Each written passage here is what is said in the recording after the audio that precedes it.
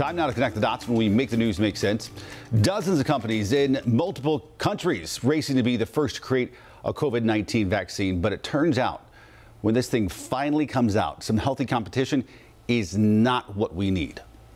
The race is on to find a vaccine for the coronavirus, but global competition to find one could spark another problem. Who gets it first? Let's connect the dots. There are close to 200 vaccines in development around the world, and researchers say at least two of them have produced immune responses in patients. Here's the problem, though. One of those is being worked on by British scientists. The UK has already paid for the first 100 million doses produced.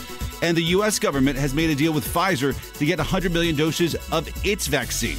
This all works for countries that have money to invest in a massive undertaking like vaccine research, but there are a lot of countries that don't have those resources.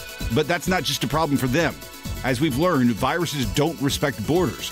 An ongoing outbreak in one country can be a threat to the entire world.